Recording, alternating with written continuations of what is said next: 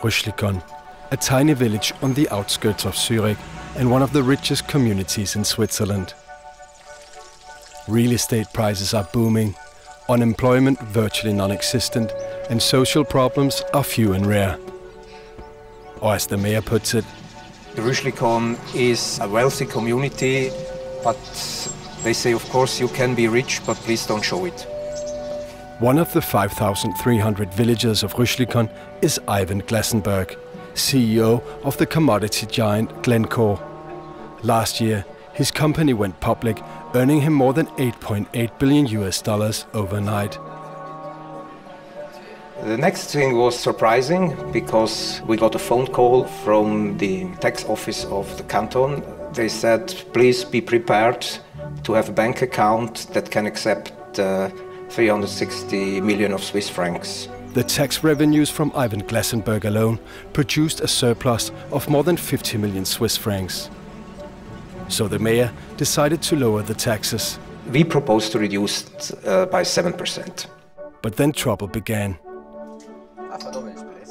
Meet Peter Kaddish and his wife Anna Maria. Ja, die Gemeinde wollte die Steuern um 7% senken und wir haben dann einen Vorschlag gemacht, nur um 5% zu senken.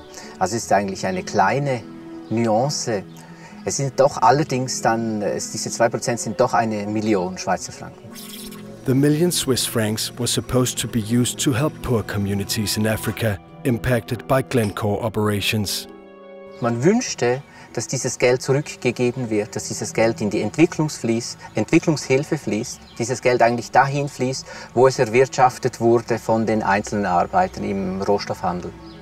In keeping with the Swiss system of direct democracy, the villagers gathered for a town hall meeting. That was a flux of people coming to our meeting room and we said, oh, okay, maybe our 280 seats that are available will not be enough. Many objected to Peter Kaddish's proposal. Some thought it was unfair to Ivan Glasenberg. Ich finde das eine bodenlose Frechheit. Wir verurteilen da jemanden verurteilen in, dem, in dieser äh, Gemeinde. Vor zwei Jahren hat man ihn aufgenommen. Man hat die, äh, den Geldsäger gern angenommen. Und jetzt tut man ihn so an den Pranger stellen. When the time came to vote, Danke. Gegen mir. the outcome was obvious. Almost everyone wanted to keep the money in Rüschlikon. The council had never to interfere or to defend our own proposal. So that were the people that took it to their own. Eigentlich das Extremste war meiner Ansicht nach, dass die Leute, die hier leben, dass man zu wenig weiß, was auf dieser Welt passiert und dass man aber trotzdem sehr stark betroffen ist.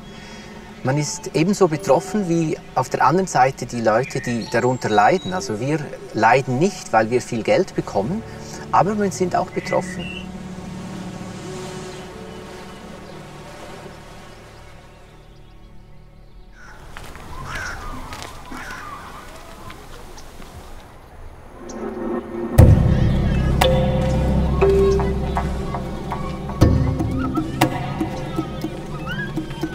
This is the copper belt in Zambia. Beneath the ground are the largest copper reserves in Africa, an essential commodity in the global economy. Glencore, under Glencore, yes. Today, virtually all Zambian copper mines are owned by multinational corporations. In 10 years, they've extracted copper worth more than 29 billion US dollars. As a country, as a nation, God has blessed us with such an abundant natural resource. Now, the paradox is that Zambia is ranked among the bottom 20 in terms of poverty, 20 poorest countries. We are wealthy, yet we are poor. The problem is no longer so much one of absolute poverty, it's become one of inequality, and Zambia is really a case in point for this.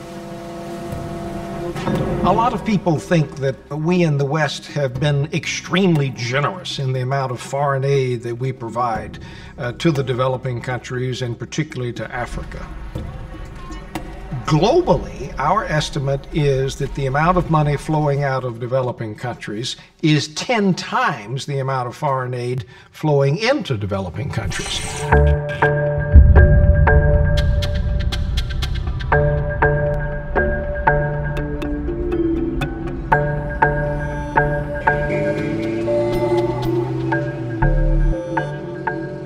I've come to Zambia to find out why this country, with its enormous wealth of natural resources, is still among the poorest in the world.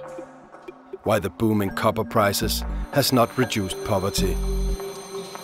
The same question many Zambians asked themselves in the latest election.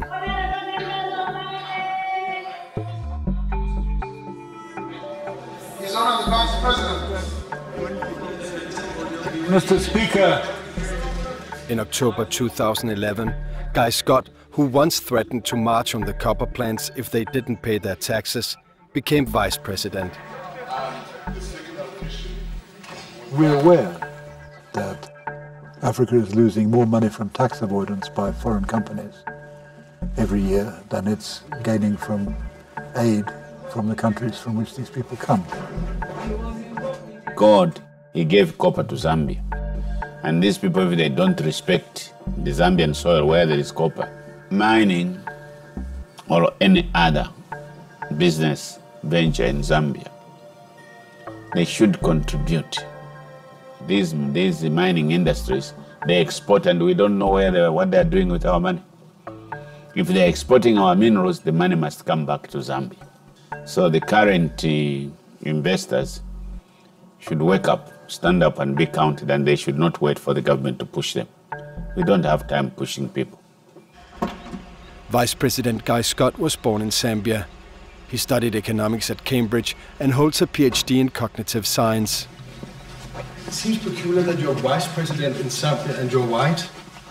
Well, uh, white vice presidents occur from place to place, like United States of America has got one. And uh, I don't think in the Caribbean it would be all that unusual. It's just a thing that's a bit unusual in Africa. But Africa's maybe changing. I mean, I'm a, I'm a Zambian nationalist. Why not? What else would I be? Well, uh, a colonial farmer exploiting No, Zambia. no, I think colonial farmers don't have any votes anyway, even if I wanted to stand on their ticket.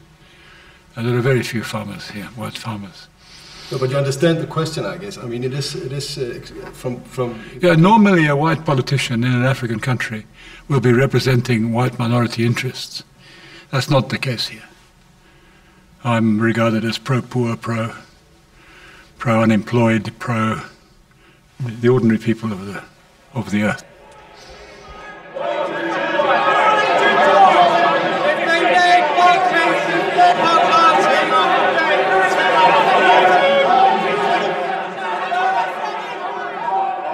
This is the London Metal Exchange, where the world market price on copper is determined.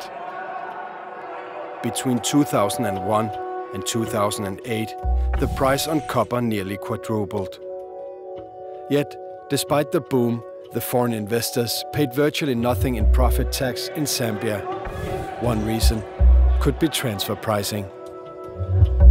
Transfer pricing is uh, an enormously damaging um, phenomenon right the way across Africa. The name of the game is to shift your profits out of the high tax countries, the onshore countries such as in Africa, where the profits are actually being made, and shift them artificially into low tax countries, into tax havens uh, where they won't be taxed or won't be taxed properly. The way that this, this is done is uh, by multinational groups is that they have subsidiaries all around the world and these subsidiaries trade with each other and they can artificially manipulate the prices of these trades for bookkeeping pur- purposes, for accounting purposes. The tax haven subsidiary will buy something cheaply and sell it on much more expensively, and between that gap, there's a huge profit, uh, and but they won't be taxed in the tax haven.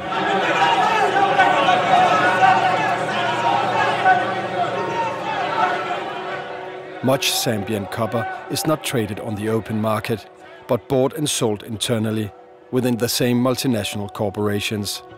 Uh, 25 doing April, May, 25 doing April, May. On paper, this makes Switzerland one of the biggest importers of Zambian copper. Switzerland is a huge purchaser of copper out of Zambia, but that doesn't mean that the copper is shipped from Zambia to Switzerland. The documentation goes to Switzerland, but the copper goes all over uh, the world.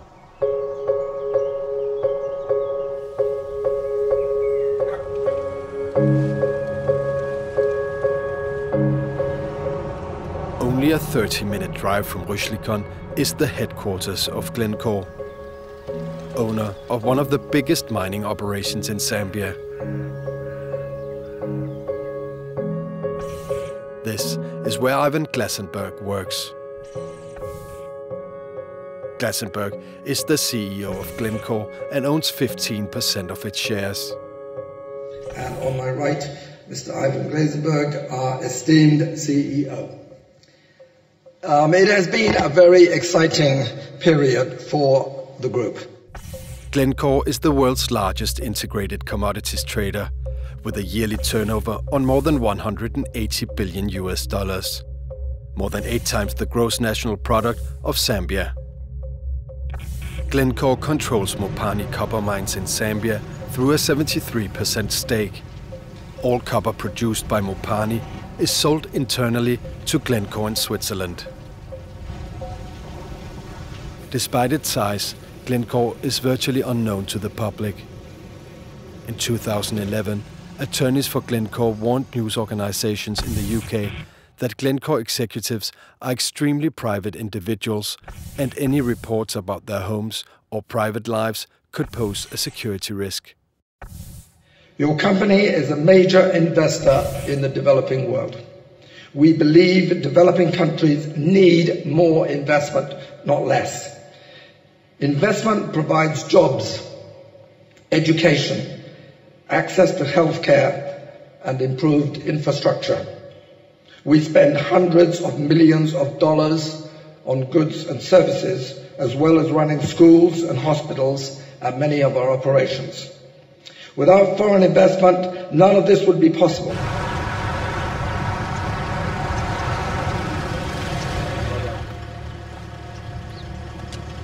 Part of Glencore's Zambian operations have been suspended by the environmental authorities. I wish you a pleasant flight. Captain Yiga, thank you very much. Thank you, sir. Vice President Guy Scott is visiting the plant and has invited me along. Residents have complained that mist containing diluted acid is drifting from the plant to their homes. This looks like something out of a bondage and discipline kit. If we carry on touring the mines like this, we'll get everything that we need for. No, just.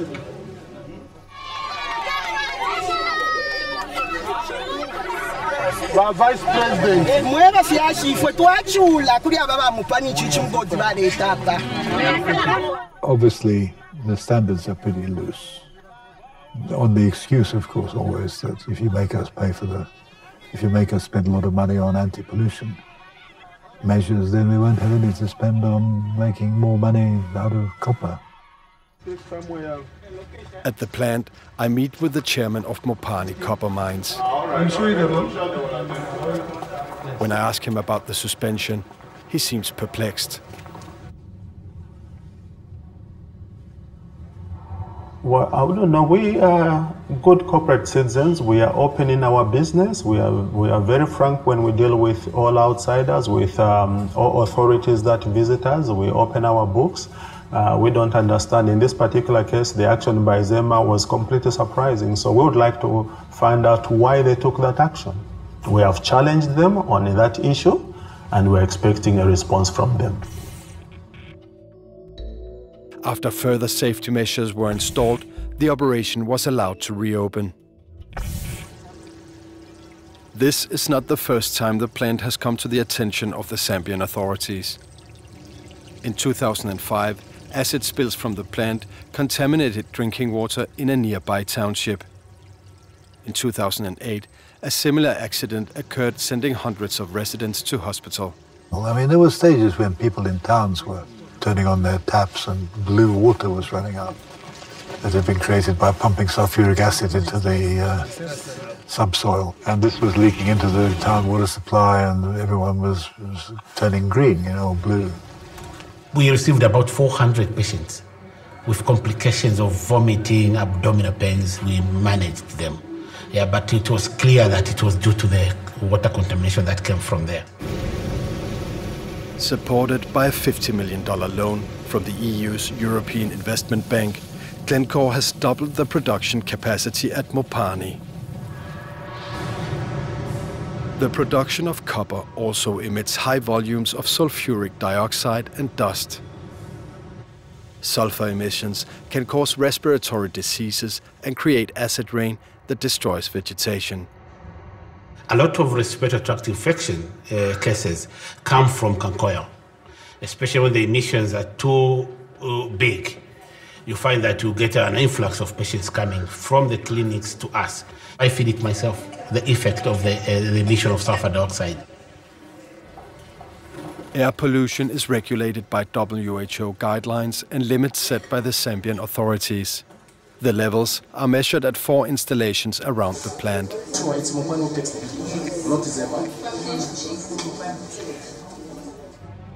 The numbers are collected by Mopani officials and not made public. According to environmental groups and local residents, the undisclosed numbers prove that the pollution far exceeds both national and international standards. The air tests that have been done um, by themselves, but also by other um, independent uh, companies, have showed that we have as much as a thousand times more uh, emission of undesirable impurities than required by WHO, the World Health Organization. We wake up, all, all of us, in the night, and also we start coughing together with the children. We didn't even sleep. We just continue coughing. If there is bit and this, the bad air comes.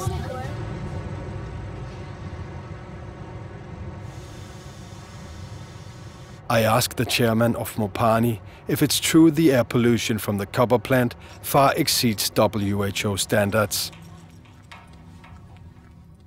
The reference point is the Zambia Environmental Management Agency, and we operate within the terms set by the Zambia Environmental Management Agency.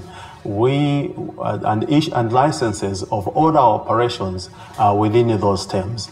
So the uh, statement by the NGO, I cannot comment on it. I would suggest that in fact we refer them to the Zambia Environmental Management Agency. So it's false. it's not 100 folds above the, sometimes 1,000 folds above the WHO standards in air pollution out there. Well, what, what we're saying is that we operate within what the Zambia Environmental Management Agency stipulates, within the licenses that they stipulate, and we abide by those. So if other people do have uh, evidence of something else, I would suggest that they contact the Zambia Environmental Management Agency, who are the authority to investigate any concerns that the public may raise.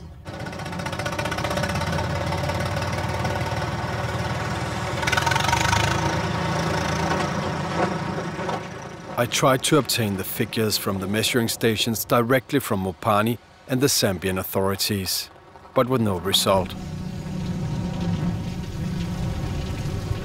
Finally, I contacted the head of communications at Glencore in Switzerland. The numbers that you collect, I know you have these uh, measuring stations for, for pollution around uh, Mufulira.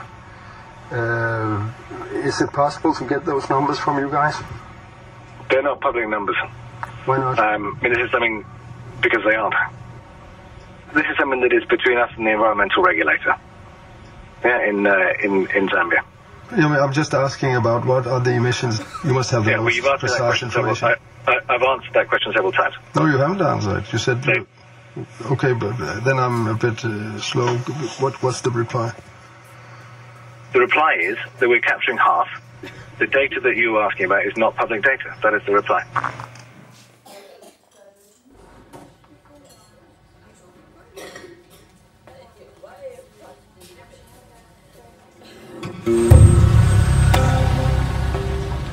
To understand Glencore's business practices, I've decided to look into its past. Glencore was founded in 1974 by American businessman Marc Rich and initially called Marc Rich & Co. AG. I've asked for an interview with Marc Rich, but received no response. Instead, I traveled to Tampa, Florida to meet Morris Weinberg, a former public prosecutor in New York. In 1983, he headed an investigation into the company's tax practices. There was a big investigation the Justice Department was doing, and in the course of that investigation, two businessmen from Texas had pled guilty. And in the course of pleading guilty, they said, hey, there's something we can tell you about some, some guy named Marc Rich. And they explained to us that they had created with Marc Rich phony deals making it appear that they had bought some for, foreign oil from one of Marc Rich's companies and then sold it to another company that turned out to be a Marc Rich company. And by that, sold it at a loss. And that by doing that, they had literally laundered, sent offshore close to $100 million in only about a six or seven month period. You know, from a trial perspective, if we ever tried it, we, we had all we needed. During the course of the investigation, we had learned about a series of transactions that Marc Rich had orchestrated with Iran. He arranged for the Iranians to get weapons, basically, in exchange for oil. And so we indicted him for trading uh, with the enemy. The company and its CEO, Marc Rich, were indicted for tax evasion tax fraud, and trading illegally with Iran during the hostage crisis.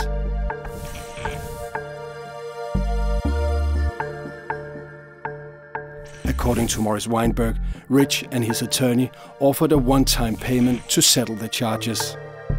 Well, he came in the office. He's a big guy. He's a really big guy, uh, Edward Bennett Williams. And everybody, all of my friends were all excited because here's the most famous lawyer in the country is coming in to meet me. And he comes in, he sits down, he puts his feet up on my desk, and we talked about baseball. And then eventually, you know, he said, well, can't, you know, something to the effect of, you know, can't we just get this resolved? You know, we'll just pay some money and you know, it'll it'll go away. I mean, you know, I and then he said something. You know, I know you got a pretty good case here. You know, I know you got a pretty good case, and I just want to you know make it go away. And I said, he's going to have to plead guilty. Um, he's going to have to plead guilty. And uh, he says, "What do you mean?" I said, "It means he has to plead guilty, and he's got and he's going to go to jail." And I think I probably spelled it out like J A I L, jail. And he said, "Woo." And he said, Well, why? And I said, and, and I said, Well, look, it's the biggest tax fraud in the history of the United States. If we let him go, how are we ever going to do another case?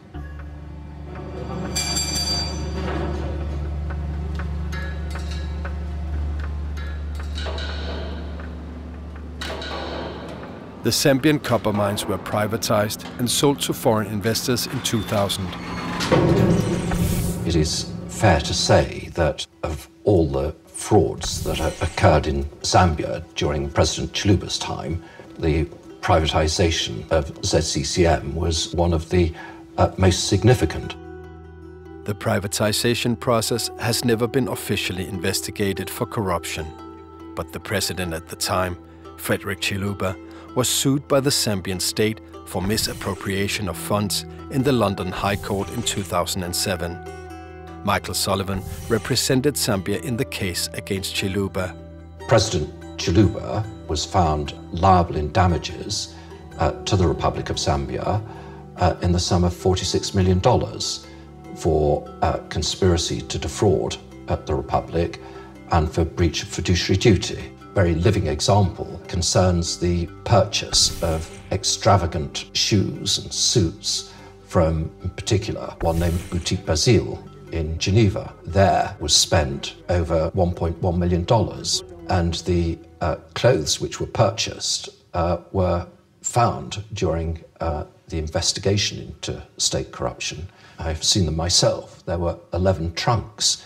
I mean, I have the uh, list of what was um, uh, found in the, the trunks, and you have um, 206 designer suits, 185 shirts, 36 jackets, 157 trousers, and 64 pairs of shoes, uh, and 74 ties. Now, all these ties were designer ties, mainly coming from Switzerland and Italy. So um, there you have a, a, graphic example of um, the um, nature and extent of, of the corruption. ZCCM was sold for a total of 627 million US dollars. Last year alone, the mines produced copper worth more than 6 billion US dollars. President Chiluba died in 2011. Francis Kaunda, who headed the negotiations, still lives in Zambia. In 2008, he was sentenced to two years in prison for corruption relating to the privatization of ZCCM. For half a year, I tried to get an interview. So, so you, you, you would want a payment for the interview? Yes, I, I'll, I'll charge for it. When I declined to pay, our communication ended. Forget it. I just want you to have the opportunity because we talked. Forget it. You don't. You don't. What opportunity? If, can Can I please say something? Uh, sorry. Sorry. Uh, I, I would just. Forget it. Oh, sorry. Okay. Any right-thinking Zambian, anybody, could see that what was being agreed was not transparent. Information is very important, and knowledge based on information is very important. The state represented by very bribed, ignorant politicians at the very top eh, could not legitimately act as negotiators for Zambia.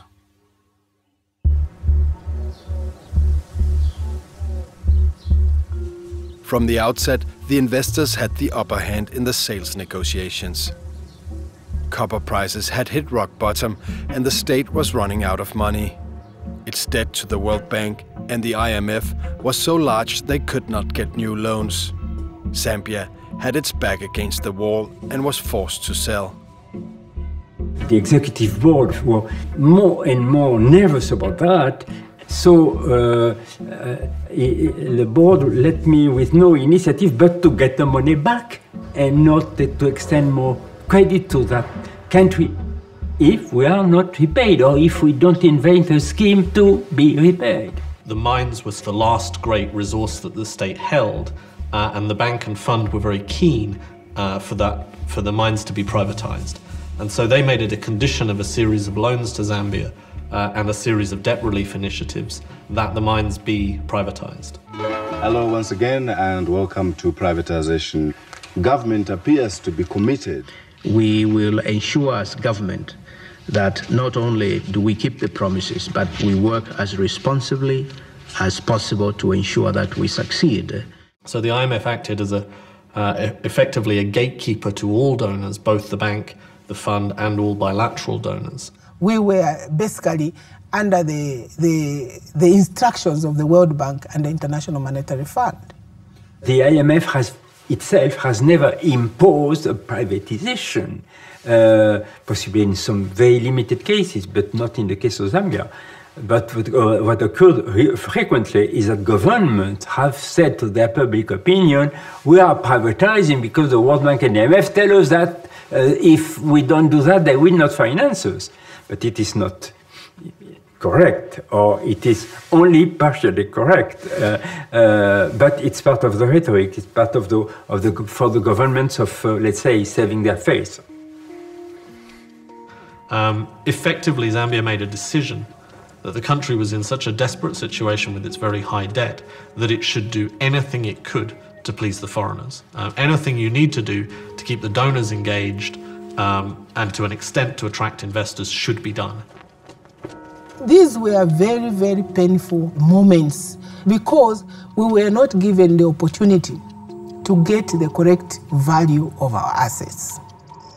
If you want to have foreign investors, well, you should treat them properly uh, and not to be, let's say, more uh, demanding on them than the neighboring countries. If not, they will go to, to the neighboring countries. Here, a degree of wisdom is needed in the management of the countries.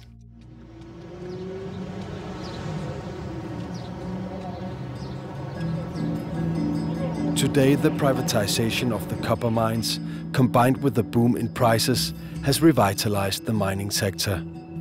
Yet despite economic growth, unemployment remains largely unchanged. With more than 64% of the population living below the poverty line, Zambia is more than ever desperate to attract foreign investment, hoping this will create new jobs.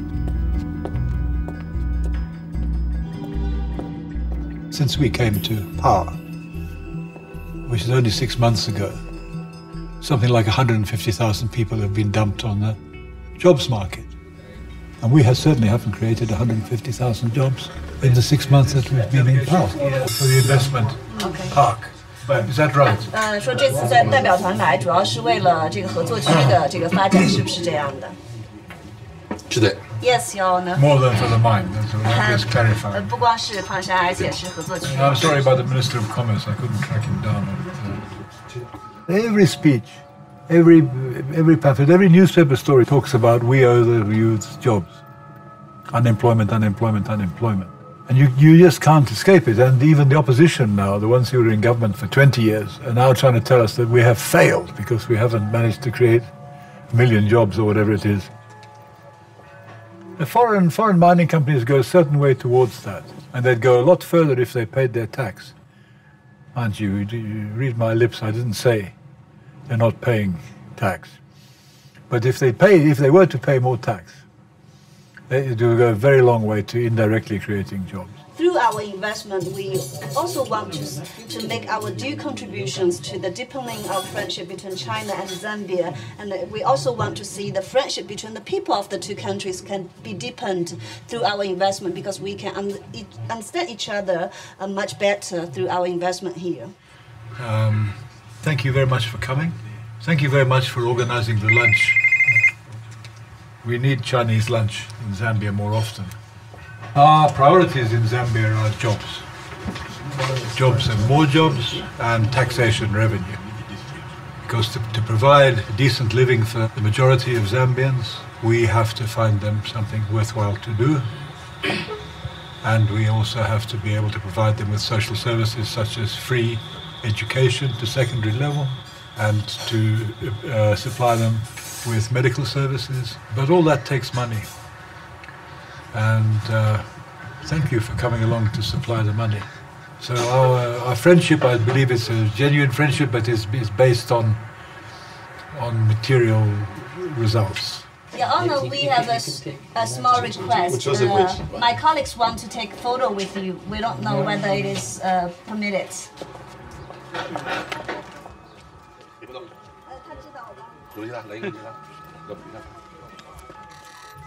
The first key to development in a country like Zambia, where you've got a serious unemployment problem and it's growing. I mean, I have to give my phone to my secretary every morning and keep it turned off at night because there's so many people wanting jobs and they think, I know, I've somehow got hold of the vice president's phone number and he owes me a job because I once uh, organized a rally for him in some part of the country or or maybe he knows my brother or, or you know, there's endless people needing jobs. Any old job will do. They're so desperate. You, you, you can tell it, you can smell it, you can feel it. If you, if you keep your phone turned on, you, you hear it, you, you see it on the SMSs. Come in the whole time. I want a job, I want a job, I want a job. Thank you very much. Thank you. 健康长寿。 Long life for you. Well, uh, you too. We might as well. we might as well both enjoy. 来好的，哎哎，谢谢你完了，你明天就走了。呃，不是。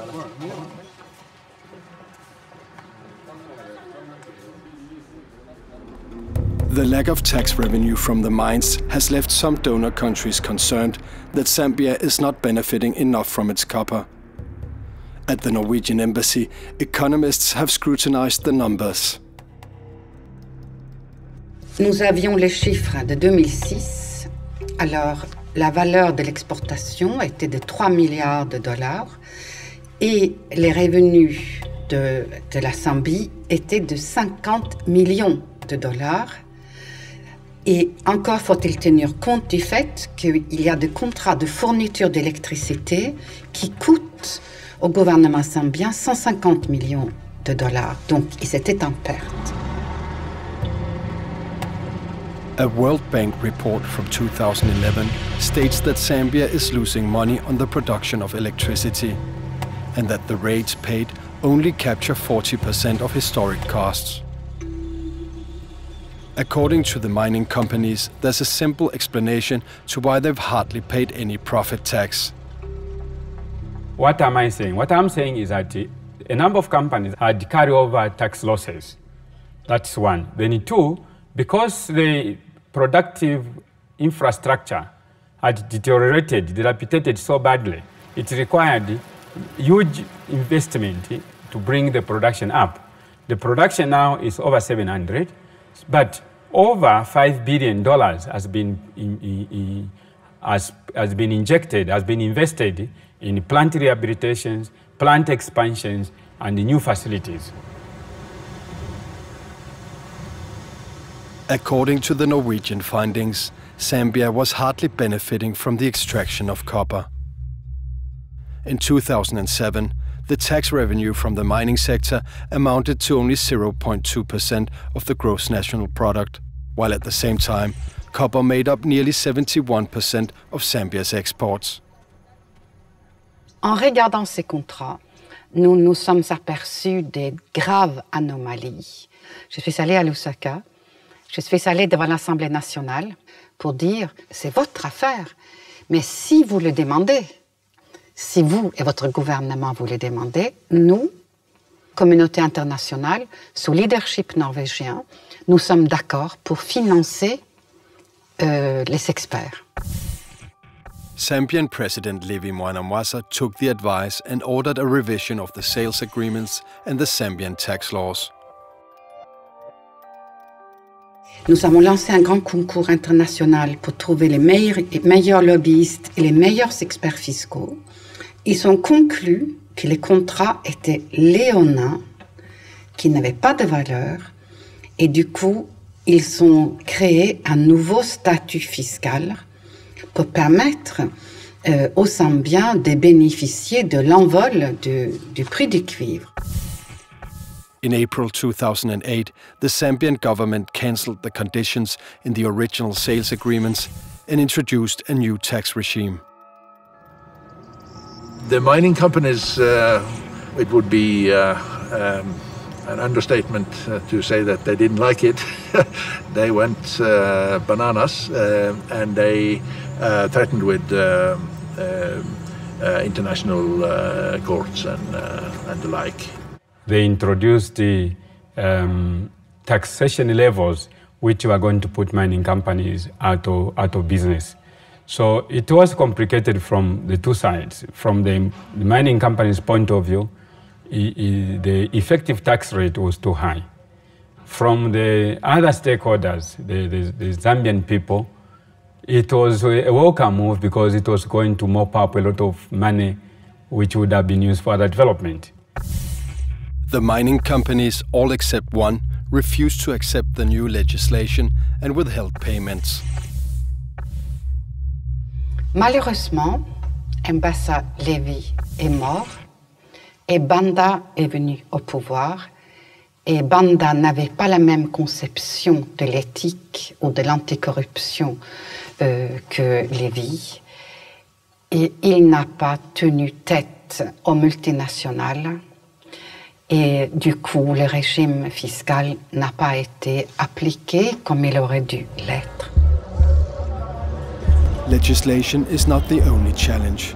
Sophisticated tax planning is today making it possible for multinational companies to reduce their tax payments, moving profits out of the country. The phenomenon is simply rife all the way across Africa and indeed the rest of the developing world. In Africa, you see a particular focus um, in commodity markets. Africa's natural resources are being extracted frequently without countries and citizens of those countries getting their fair share. In 2008, if Zambia had received for its copper exports the same price that Switzerland declared for its copper exports in the same quite detailed commodity categories, Zambia's GDP would have nearly doubled that year. And this is in a country where something like 80% of people are living on um, less than $2 a day. The impact of GDP potentially being $25 billion rather than $14 billion could have been enormous on development. We in the Western countries have created the mechanisms by which this money flows um, and it flows into our own coffers, and therefore we have as much responsibility as the uh, uh, as the poorer countries uh, to try to curtail this phenomenon. In many cases, the methods used for paying less tax is almost impossible for developing countries to scrutinize. Transfer pricing is inherently complex, and the, the OECD model, which is the unfortunately perhaps the dominant model um, to work out what a fair price is for trade between two subsidiaries of the same multinational, um, that process is very complex. Now, what you find in a low income country, um, uh, as Zambia was until recently, is that the capacity within the tax authority to deal with the complexity and to deal with the army of lawyers and accountants that a multinational company has at their disposal simply isn't there. So a multinational company like Glencore is able to resource um, their ability to defend a particular set of prices in a way that the Zambian tax authority finds extremely difficult to respond to. I, have spent my whole career looking at this, and yes, I'm on the OECD Task Force on Tax and Development. Um, but by and large, I find that the OECD is not interested, not interested at all in debating the broader subject. Their interest is in protecting their guidelines because OECD countries want to maintain the status quo.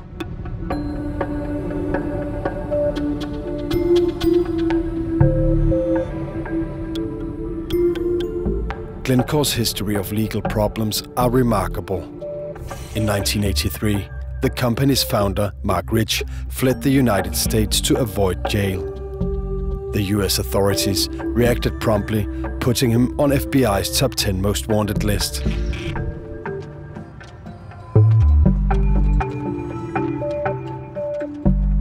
He decided he didn't want to go to jail.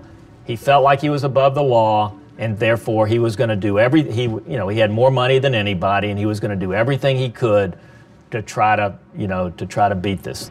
Marc Rich because of his flight from the united states became the most wanted white collar criminal in american history. Switzerland refused to extradite him to the us but he risked apprehension every time he set foot outside of switzerland Rich tried a different tack. He hired then President Bill Clinton's former White House counsel Jack Quinn to secure a pardon for him.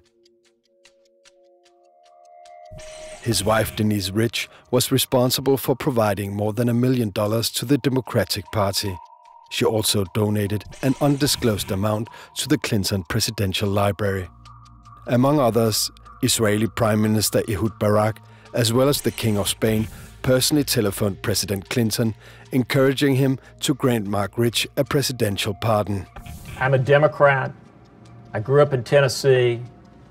I worked for Al Gore's father.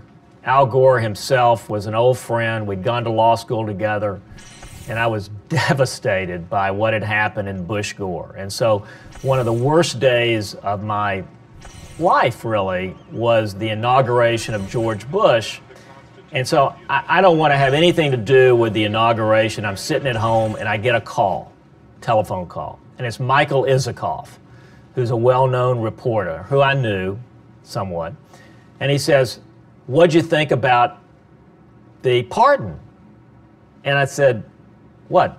Milken? Milken got know because the, the the publicity was is that Milken was, and he said, no, no, no, Marc Rich." And I said, I cursed. I said, no effing way. And he said, no, Marc Rich. I said, well, what about Pinky Green? He said, who's Pinky Green? I said, well, that's his partner. Did he get pardoned too? And he goes down the list. You can hear he said, yeah, he got pardoned too. I said, good Lord. I was in Paris, working in Paris when the pardon was, was published, and I wasn't surprised. I was a little bit shell shocked on how blatant it had been carried out. I thought it would have been done with a little bit more panache. How do you pardon a person who thumbed his nose at the American system? You know, if he came back, if he thought he had such a good defense, come back and fight it. You put, uh, put your defense on. He never did that. He was a fugitive. And he renounced his American citizenship. If you renounce your American citizenship and you're a fugitive, you don't deserve to be pardoned. Certainly not in a case where you committed the biggest tax fraud in the history of the United States up until that time and your companies pled guilty to it. Ivan Glasenberg joined the company just as Marc Rich fled to Switzerland. Glasenberg's first post was as a coal trader in Johannesburg. At that time, the company's core business was providing oil to the apartheid regime in South Africa. From his exile in Switzerland, Marc Rich made an estimated 2 billion US dollars selling oil to South Africa before and during the UN embargo. In 1991, Ivan Glasenberg had caught Marc Rich's attention and was brought to the headquarters in Switzerland. Over the next couple of years, Ivan Glasenberg became a trusted member of the inner circle, known as the Rich Boys. The pardon of Marc Rich did not include the company.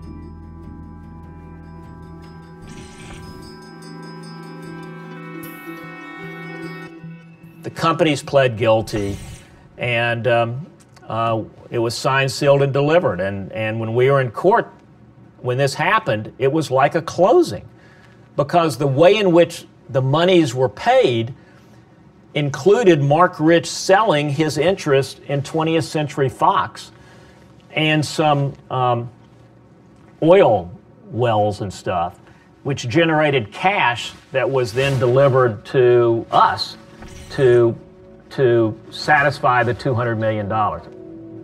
We were all collected in a back room in the court signing, you know, signing papers like a, you know, like a closing is really what it was. And then, you know, that was it. Case was over. One year after his flight, the company Marc Rich & Co. pled guilty to tax fraud. They did act like from day one that they were above the law. Every time I turned around, his company and people for his company were cheating and were breaking the law, whether it was doing a midnight sale that was bogus or trying to secrete documents out of the United States or, or um, cheating on taxes or, or making up phony deals to launder money out of the United States or doing deals with the Iranians when they were prohibited. Whatever it was, he was cheating. In 1994, Marc Rich stepped down as CEO and sold his shares to the management. The company was renamed Glencore. In 2004, Ivan Glasenberg took over. Today, Chairman Simon Murray assures that Glencore is involved in no illegal activities. Our position on the issues of bribery and corruption is clear. Offering, paying, authorizing, soliciting, or accepting bribes is totally unacceptable to Glencore. At the time Simon Murray made these assurances to the shareholders, Glencore's grain division and two of its employees were standing trial in a Belgian court, charged with bribing a European Union official. Please don't feel everything is presumed innocent, uh, we don't lag it. For two years, Glencore had supplied EU official Karel Brus with cash, travel and a free phone. All in exchange for inside information. Information Glencore used to secure EU export refunds. A lucrative arrangement, making millions for Glencore. On June 27, 2012, Glencore's grain division was found guilty and fined 500,000 euros. Glencore has appealed and declines to comment. Glencore has full oversight of its tax practices and fully adheres to all its tax obligations in line with the laws in the countries and the territories in which we operate. A confidential report leaked in January 2011 raises serious questions about Glencore's tax practices in Zambia. The report contains the results of a comprehensive tax inspection of Glencore's Zambian subsidiary, Mopani Copper Mines. Here it is. Uh, I got a brown envelope from my, in my email. It's here, and um, I mean it was a very simple envelope, nothing specified on it, just my address.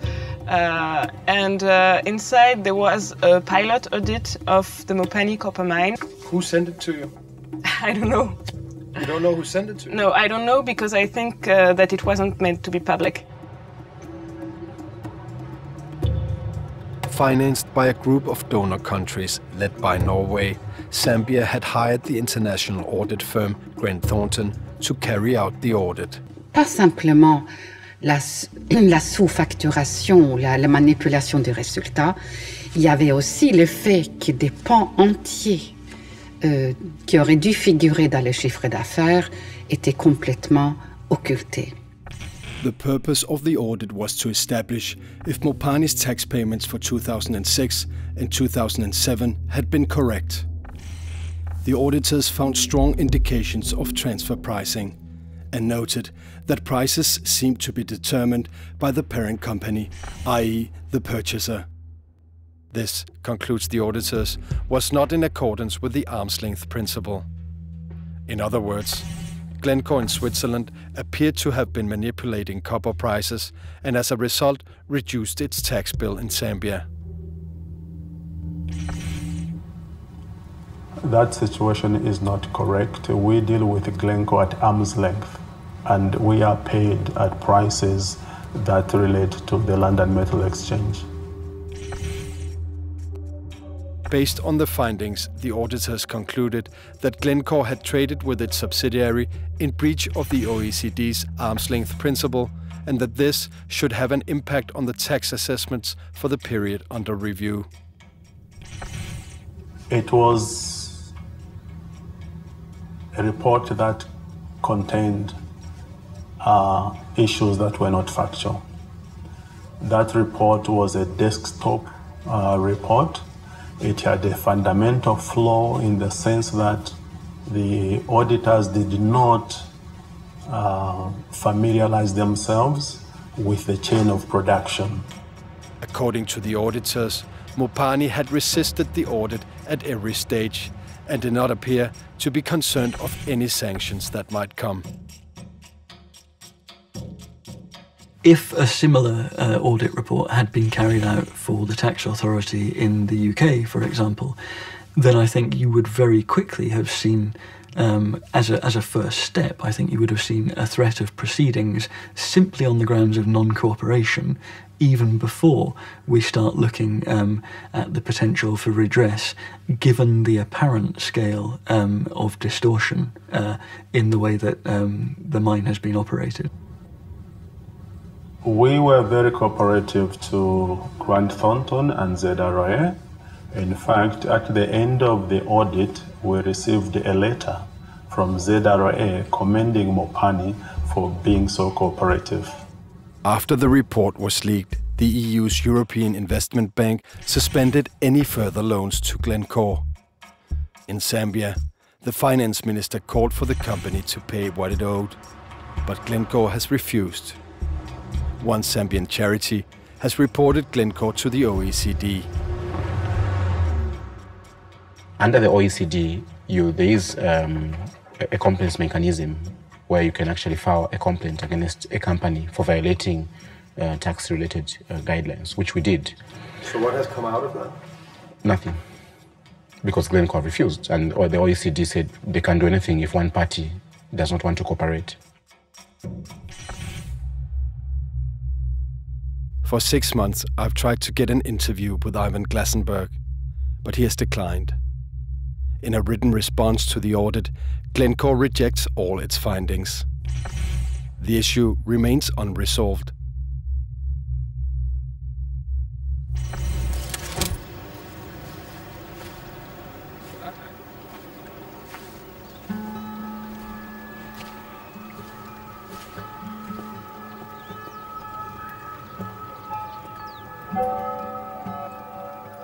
You don't have crack squads of auditors and accountants and computer operators and people who can parachute in and open a safe and fly back again and give us the information about who's hiding what.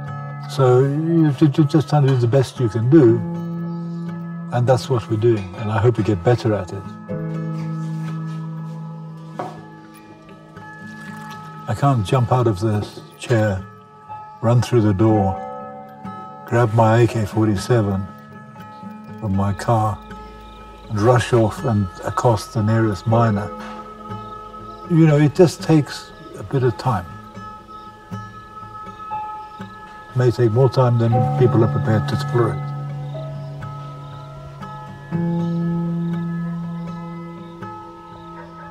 Zambia sold its copper at the worst possible time, on terms that made it difficult for the country to benefit from its own natural wealth. Today, the government is working to increase tax revenue from the mines. Revenue badly needed to pay for schools, healthcare, and to reduce poverty.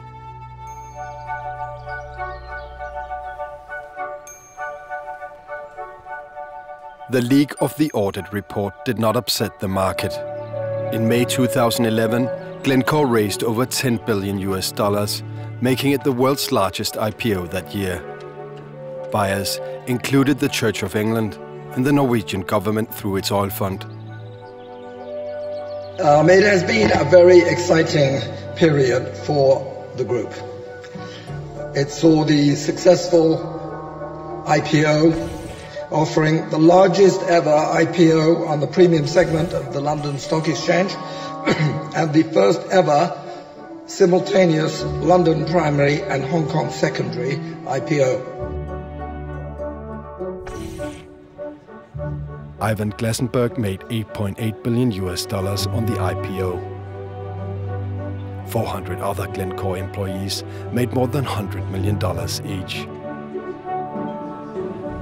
In late 2012, former British Prime Minister Tony Blair was brought in to help negotiate an $80 billion merger between Glencore and the mining giant Xstrata. If successful, the merger will almost double the company's size and influence in the world.